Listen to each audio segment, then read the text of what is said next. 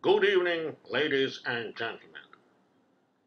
Today I would like to speak about the so called presidential elections in the United States of America. The United States of America. Regarding this video, feels like a waste of time. Why?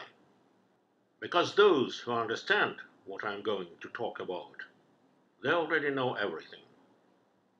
Whereas those who do not know or do not understand will remain unmoved. Because their views are, in fact, a religion. Sort of. Why label these elections as so called? That's simple. The experience of the elections of 2020 has shown that the process resembles a card game with cheaters, also known as card sharks. We follow the rules while they manipulate the game. If the elections were honest and votes counted fairly, Donald Trump would undoubtedly become the new president of the United States. Well, in my humble opinion, no sane person with a resemblance of common sense can justify voting for Kamala Harris unless they truly harbor a deep seated hatred for both America and our civilization.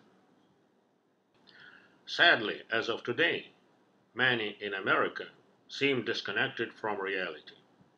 There are also those who hate their own nation, but I sincerely hope they do not constitute the majority.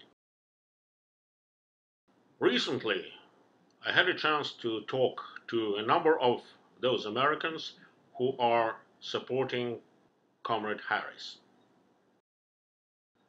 Yet none of them could articulate why. Some claim it's because she's a woman. Okay, but there are both good and bad women. For example, history knows female mass murderers, right? Others say that they support her because she is young. Is she, by the way? I think not so young, but that doesn't matter. In any case, age alone is not a valid criterion. Some support her for reasons I cannot pinpoint given the absence of free speech. But anyway, not a single supporter of Kamala Harris has articulated a coherent reason for their choice. No mention of her political or economic program. And there is no surprise. She has no program.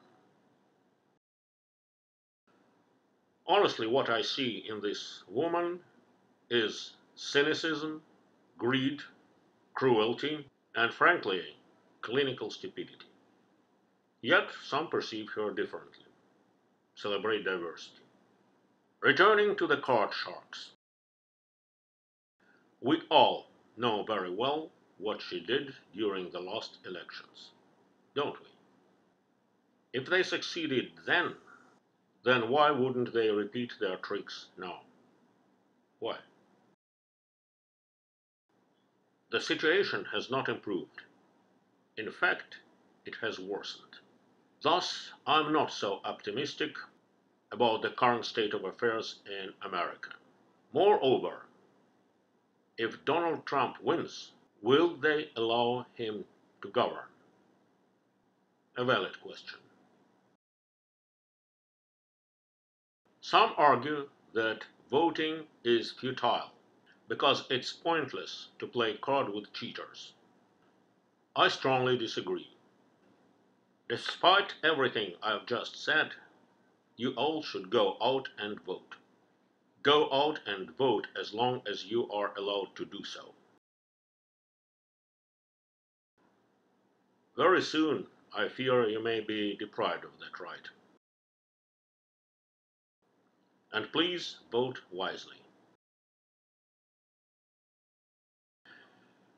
Because if Kamala Harris occupies the White House, the consequences will be catastrophic. They will be catastrophic for both the United States and the world. The war in Europe will continue to ravage both Ukraine and even Russia. Other conflicts will erupt as well, leading to the deaths of thousands, if not millions. And most of us will be forced to do things we would rather not do. I hate to say it, but alas, American democracy passed away decades ago. My dear American friends, you have already lost your freedom of speech, your right to self defense, the presumption of innocence is gone. You have lost your schools, your universities, your churches, your families. It's actually game over. Our entire civilization is in decline and so is our beautiful planet.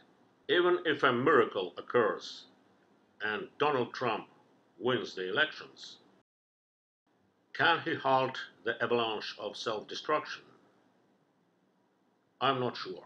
This is a pressing question. In any case, we will soon see what unfolds. So go out and vote and enjoy your lives as long as you are permitted to do so. Best wishes. God save America.